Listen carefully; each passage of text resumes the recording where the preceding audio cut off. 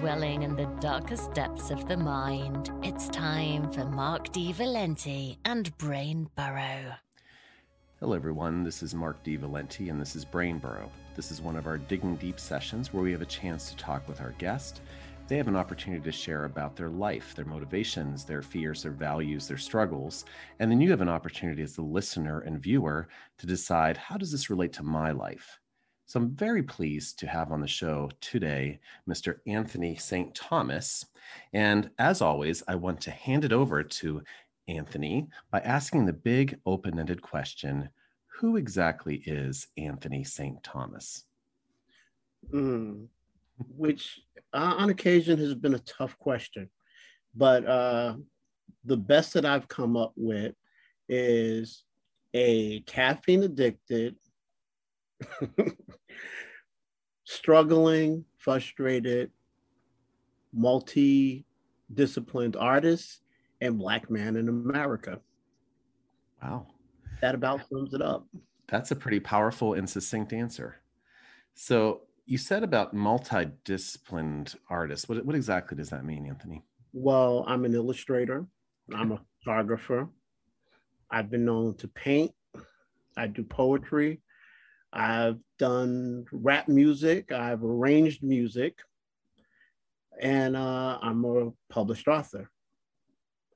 I've also written screenplays. So, um, wow, that's quite the uh, resume. Oh, go one more. I've, also, I've also I've also acted in film. That that for some reason I I always push that off to the side, but I've hmm. spent hmm. most of my adult life living with an actress. Hmm. So when you live with a, someone whose whose major discipline is something, you compare yourself to that, and sometimes you don't feel like that at all. Hmm. Interesting. So, since you brought that up, let's talk about that. How does it feel as you're comparing yourself? Because clearly, it's something that's on your mind because you brought it up. Oh well, you know, it's it's just something that's always been in the forefront of my mind when I've done film. Is that I am not Monique Dupree, and that's fine by me. I, you know, I have no desire to be Monique Dupree.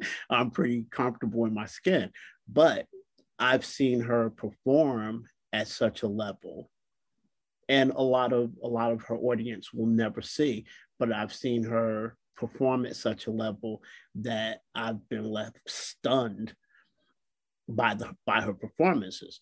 And uh, you know, some things that will never see video because they're on a cutting room floor somewhere or, or you know there wasn't enough time or whatever the case may be so and being around her and being on films, other actors, uh, other artists that I know, you know, Tony Todd, I've seen him practice for stage performances. And, it, you know, it feels, it feels like pumping myself up for failure to compare myself as an actor to Tony Todd. Now, have I been in films? Yes. Can I act? Certainly but an actor is that's a that's a craftsman's title yeah that's a really i love the way you frame that right i mean i think there's a lot of people that may underestimate what it takes to be an actor and i think your your very humble approach just now i think kind of sums it up. Now you mentioned about being comfortable in your own skin being comfortable with anthony st thomas. So what makes you so comfortable? Because a lot of people aren't comfortable in their own skin. What makes you so comfortable anthony? Well a long time ago i had to accept that this is my time as anthony st thomas you know no matter what I believe in, no matter what, what spiritual course I take, no matter how successful I am at any given thing at any given time, I am in this time frame from the beginning of this to whenever this ends, I am Anthony St. Thomas. I just better get used to it. I, there's been times that, you know, I don't like being Anthony St. Thomas. And, you know, again, I had to get comfortable with myself. I had to get comfortable with intellectually, if I was going to do something with my life, it probably wouldn't be an artist of any kind. Intellectually, I probably would have went into medicine or law or, you know, anything that turns a buck faster and, you know, gives me less time in the spotlight. Those would probably have been the things that I would have chosen intellectually. That's not what I'm designed for, though. Thusly, here I am in front of you with a light on me. yeah, that's that's uh, actually a very beautiful thing to say about really accepting yourself and who you are, as you said, from beginning to end in this life. And I, I really appreciate you kind of talking about that. Now, it's interesting. You chose medicine as an example of something intellectually. What made you decide to choose that as an example of something you would do again in a different pathway? Well, uh, even when I was in the army during high school, uh, one of the the other things that I'm acclimated towards is sciences. So there had always been a lot of talk about me either going into the sciences or being a doctor of some kind. You know, uh, in the army, uh, after basic training, we went through all these rigorous tests. And one of the things that I scored off the charts in was field medicine. I could set bones and, you know, so on and so forth. So it, it's always been there in the shadows, but there's a there's a marriage between the sciences and the arts that people don't really take seriously, but you have to you know, every writer, as far as I'm concerned, is sitting on the prefaces of being a, a, a physicist because we are diving into things in such a way and looking at things in such a way that we're breaking it down to the particles of it. We might put them together as backwards and ridiculous. We might. And in fact, it's our job to, and then convince you that this is how it works anyway. So the arts and the sciences are married. And so it's not really that surprising, but yeah, medicine as an intellectual pursuit. Yeah, that's fascinating, actually. And I really like what you say about marrying the arts and the sciences. And as you said, oftentimes people overlook that. Uh, you also talked a bit about um, feeling comfortable in your own skin, but also said the very human statement of sometimes you're not. Sometimes you don't like. Again, rare, rare, right? Well, but yeah. tell me about tell me about those times whenever you don't feel comfortable in your own skin or don't feel comfortable being mm-hmm. Anthony St. Thomas. Well, you know, I I struggle with being a very heavily mental person. And sometimes that gets in the way of being when when the people around you who depend on you need you to be a more emotional being. And, you know, in retrospect to a lot of people, it's great. A tragedy comes along, uh, you're in the middle of an emergency, and I appear to have a cool head. It's just the way I'm built, you know. I, and I can handle most situations that way and at the time, no. While in retrospect, a lot of people appreciated, oh, you kept your wits about you, so on and so forth. At the time, I'm the robot, you know, I'm the cold hearted bastard. So I, I, I've had to struggle with that, with the, the, and a couple other battles within myself, you know, just, and it is human to basically, especially if you're going through your life at any particular point in time, looking to improve yourself, especially for yourself, where you're not using anyone else's yardstick to measure your success. You're only going by what you want of you.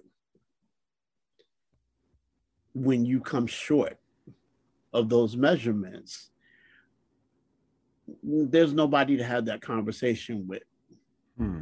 comfortably, you know, mm-hmm. because now you're the guy talking to yourself and you you should have done better than that. Yeah, I mean, you can um, be your own worst enemy in that way. Absolutely, absolutely. I, I mean, even the even like there's characters or uh, or like growing up, listening and watching and reading the things that I did. A lot of the characters that I appreciate most have always suffered from the same thing. Uh, one of my favorite characters is Doctor Who. Now, there's storylines where the doctor, since he goes through time and he changes physical form, has been in a room or in a situation where he's actually there with himself. And the first thing you notice is that this man, sometimes woman, doesn't necessarily get along with himself at all. He's the same guy, it's the same person on the same mission, using the same tactics, give or take a little bit of alteration. But the mission is the same. The mission statement is the same. The movements are specific to him, you know. But whether or not he agrees with himself is a completely different thing. Comes to the same conclusions, however, just really can't take his own arrogance. Uh, uh, basically, he puts on the performance of being ridiculous and a clown. Mm-hmm. But if he's in the room with himself, that pisses him off. Mm. So, you know, I'm, I'm, you know, and I've gravitated towards characters that have that issue with themselves. Hmm fascinating. I'm actually am familiar with Doctor Who, and probably not as big a fan as, as you are, but I can I can definitely remember some things like that where he, like you said, is in conflict with himself. But it clearly has a huge impact on you, and you see a parallel in some ways with your own life. Absolutely. So, can, can you talk about a time whenever perhaps you have felt conflicted with yourself, with your own self, maybe from the day before, the year before, or even the minute before, whenever you find yourself in conflict? Well, I've been there uh, quite a few times. Uh, I think one of the biggest times was right after art school. I went to the army. I pretty much graduated from art school, grabbed my associate's degree, got off stage, and was in Fort Leonard Wood, Missouri two weeks later. didn't didn't waste any time there at all. Well, and, and you know, I look at it now as the conflict between being this poet, artist person, this this uh and and also being the guy who grew up in one of the worst neighborhoods in in, in North New Jersey shades of a tough guy because I don't consider myself a tough guy. But like I, I even to this day joke that uh, I'm the world's hardest nerd. You know, we, we like came that. up with a we came up with a word nard, which is combination of hard nerd. kind of like that. you should get it copyrighted. Okay, okay, I like it. Okay. So that was a time when you specifically at that graduation and going into that, that was a time when you experienced a conflict.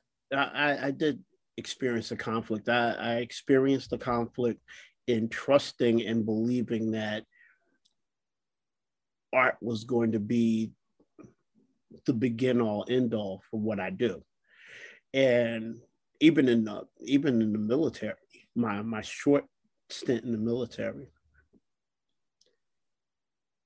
I was at conflict with it because I don't like being given orders. I, I, you know, so a lot of it was about discipline, like doubling down on discipline for myself. But uh, yeah, I spent that entire time in conflict. I, I spent that time in conflict between being the warrior and the artist because I couldn't uh, I couldn't justify the two of them being in the same being. I, I don't have that problem as much anymore. You know, it's actually ridiculous to start labeling yourself or trying to hold yourself to some two-dimensional characterization you, if you're going to be a, a, whole human being at some point you're going to have to realize that you could be all of those things and it's not a problem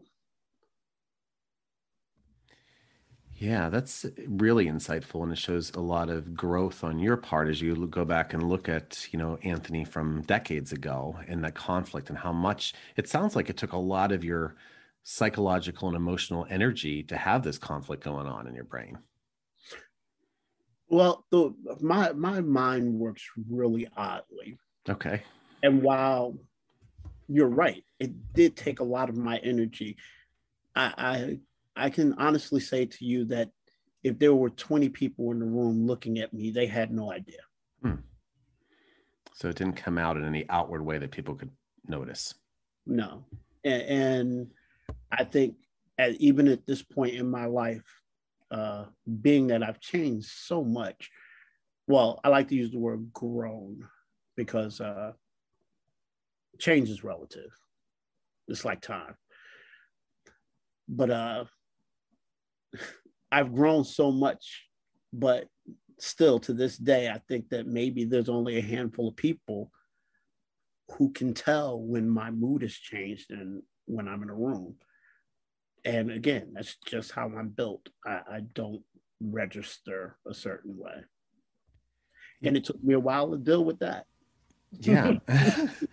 I think uh, you know and it goes back to what you said before where you know people look at you as sort of that stability and rock. And we know anthony's not going to get upset in this situation. And we're looking for him as as like that uh, person who doesn't get emotional. But it also sounds like you know there obviously is a negative to that as well. Oh it can be a big negative yeah, so I want to talk about uh, the growth here, right? Your your growth over time, because I think you brought up something, and I think as we're as we're talking and thinking, the theme here is really about you know coming to resolution with a conflict within oneself, right?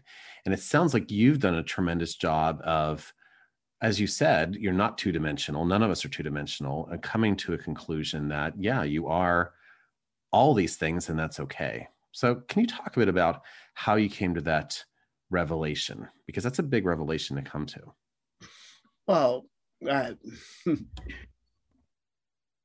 it started a long time ago. I mean, it crested um, more recently.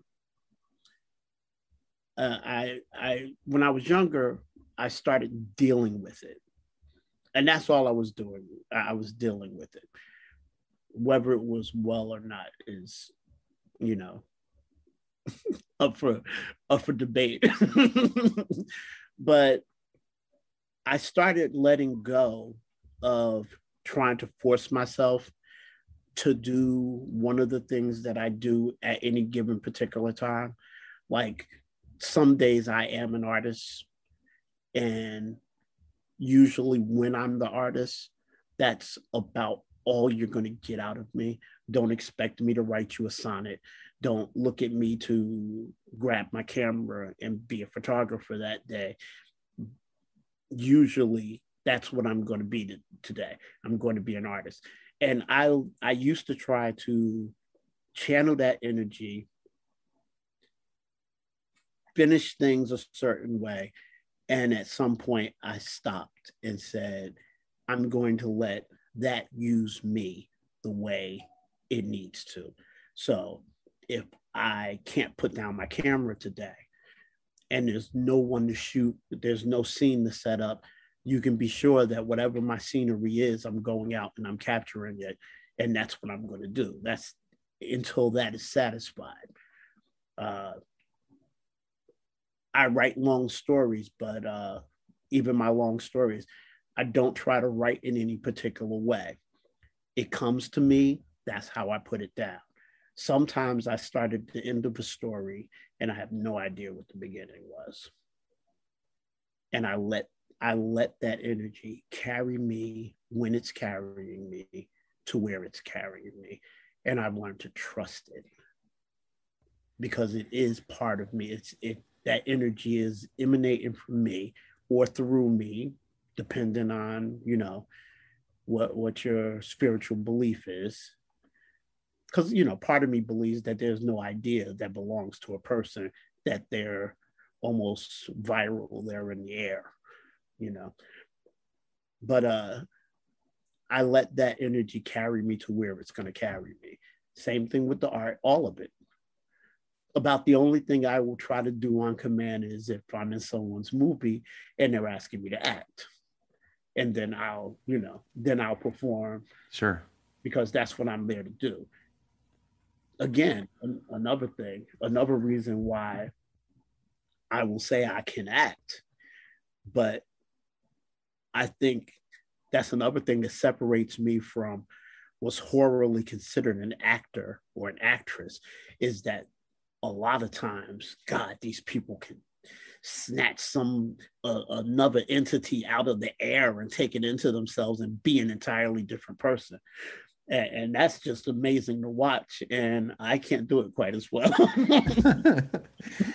yeah, I mean, that's uh, clearly a, a skill set and, and a you know just a, an amazing inspirational action that these actors and actresses have to your point um you, I, I actually really like almost the visual that i got there whenever you're talking about you know this day you're going to be you know a writer. This day you're going to be a photographer. It's almost like you have a set of clothes of who you're going to be that day and that's who you're going to be that day and you're going to focus only on that. And i think there's a, a really positive message of mindfulness of focusing just on that and not being distracted by anything else. That's and and that's what it's come down to. Yeah. You, and i mean I, i'm good with not getting distracted and having a lot of balls in the air and i work well under pressure but that unnecessary pressure that i used to put on myself doesn't need to be there. So i can spend time with my kids and you know laugh and play with them and you know come back and be the artist right back in vogue but if i go to try to write something for for something that i have no connection to at this moment then that's going to throw my day completely out of. Well and i think that's been a theme of a lot of things you talked about so far. It's about almost being really focused with your energy so you're not all over the place. And there's a concept called essentialism which is it's a book actually called the disciplined pursuit of less which is all about just kind of focusing on this thing as opposed to going everywhere which doesn't allow you to be the best person you're going to be because you're distracted and your energy's everywhere. But i really like what you're saying. Go ahead. And i can get there you know. I, I you know uh, people who care about me will say you know okay that you, you do have to get that done but let's while while you've got the drill in your hand and you're building that wall, you might not want to be dealing with that. And they're right, you know. So understand that where I have this the best in check is with my artistic self. But then the artistic self is the the self that I've had to deal with the longest, in all honesty. Yeah, and again, thank you for sharing. You know that you are human, and then your ability to focus as you do in the arts doesn't necessarily you know transfer over to other areas always no it doesn't right uh, also i like what you said before about I'm, I'm, obviously trying to take notes as you're talking because you're saying just so many like really cool things that, that really describe who you are did a great job of answering that question who exactly is anthony st thomas but it's a it's you talked about trusting it you talked about when you're in that flow and in the energy and you know whether you're out there and you're going to take photographs that day and you're just trusting it I think that was very powerful. How did you get to a point where you just kind of trusted your instincts and how you're feeling that day? Mm, that comes down to having those instincts be the thing that keeps you alive. I said before that I grew up in one of the worst neighborhoods in Newark, New Jersey. Uh, I grew up in what was uh, Stella Wright projects. Um, I grew up on Prince Street in Newark. Now, this is through the 70s and the 80s, living in these buildings, where while my mother kept an incredibly calm and loving home in these buildings, me leaving that very safe environment and going anywhere, I passed through a gauntlet, you know, uh, almost, uh, you know, it's not an exaggeration to say that it felt like the Hunger Games sometimes. Wow. wow. you know? So it could get it could get rough. I could be coming home or walking out of home to gunfire, to robbery, to uh, you know, stepping over junkies. Now, at the same time, I made incredible friends. I and my instincts sharpened uh, very well. The something I took to uh, took with me to the military. Now I didn't see combat or anything, you know. It, I was I was a soldier at peacetime, but uh, you know, I still took those instincts with me, and it was recognized a few times that like you know sometimes I was sharper than the guy who grew up, you know, in a much safer environment. So yeah, uh, it had trusting my instincts came from my instincts having been faithfully saving my life, keeping me alive. So if I was going to trust them with my bodily well-being, I, I had to put some kind of faith into them with these things that basically were extensions of myself.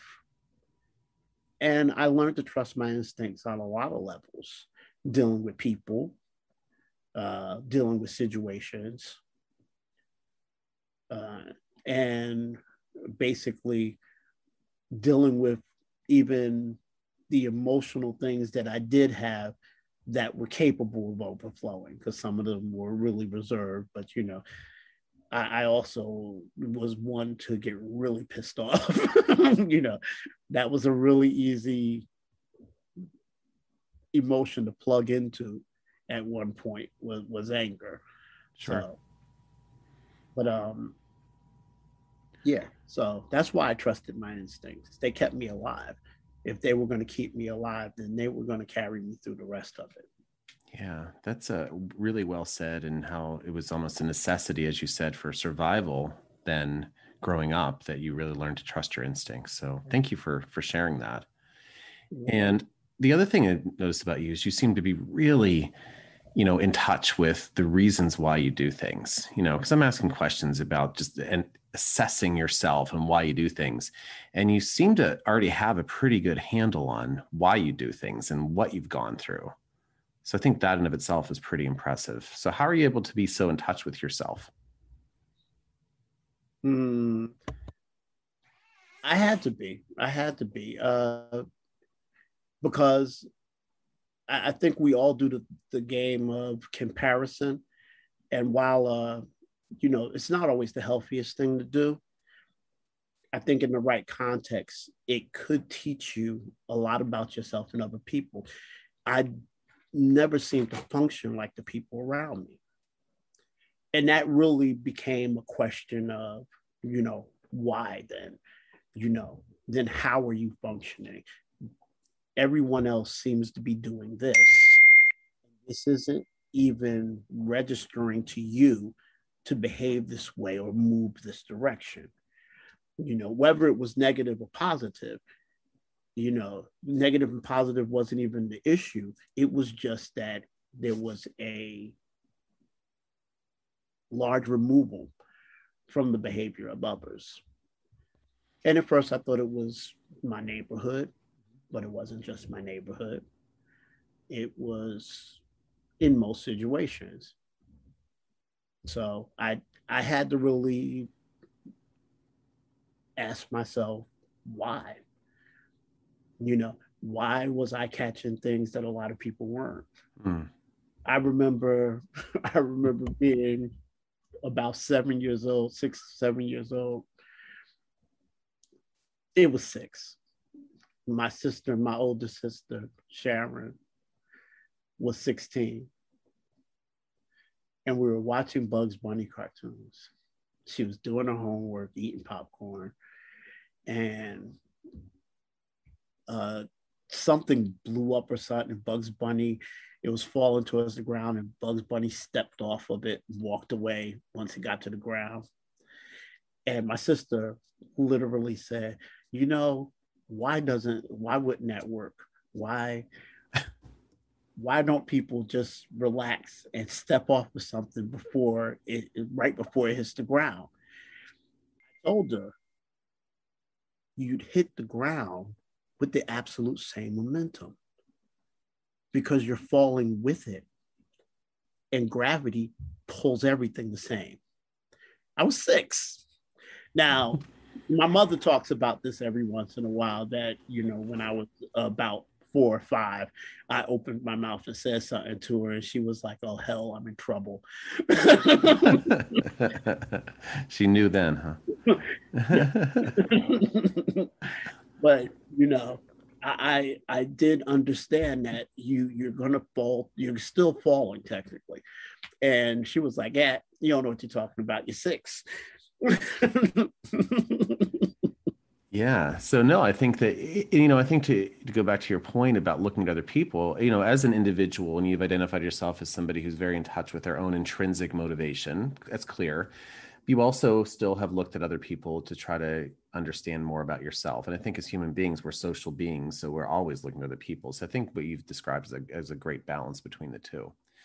Now we are actually at 30 minutes, uh, Anthony. So I wanted to just sort of ask one final question, and that is you know, what do you want people watching or listening, you know, to this interview? What do you want them to walk away knowing about Anthony St. Thomas? Hmm. Now, see, that's a really that's a really difficult question. Hmm. I mean, on one level, being any kind of artist, any kind of performer, you want people to walk away, if not appreciating your work, having given your work the opportunity to impress them. You want that. But me as an individual, separate from my work, I'm not sure what what I would actually want from anyone uh, on on such a massive scale as watching me in a little box. It when it when it gets down to that, when it gets down to numbers and society, it goes right back to like you know, hey, check out my work because I don't think me personally, I need that much attention and aspir- uh, admiration. I don't think I needed that much. That is a wonderful answer. Truly. There's no right or wrong answer to any of this, but I think that's an extremely insightful answer that actually does allow people to get even more of a glimpse of, of, of you, Anthony. So thank you for sharing that. Well, thank you for having me. And this has been quite interesting. Quite interesting. Well, I appreciate that. And I appreciate you answering the questions. And really, uh, it has been an interesting conversation on my end too, listening to just the different things that you've done and the different ways you've navigated life. So I really want to express my appreciation for you being on the show today, Anthony. Thank you. Thank you for having me. Yeah, my pleasure. Okay. Well, then, on that note, I want to, of course, thank the listeners and viewers out there for tuning into Brain Burrow. And on behalf of Anthony St. Thomas, I hope you all have an amazing rest of your day. You just dug deep with Mark D. Do you want more? Follow Mark on Instagram at Valenti Horror and subscribe to the Brain Burrow podcast.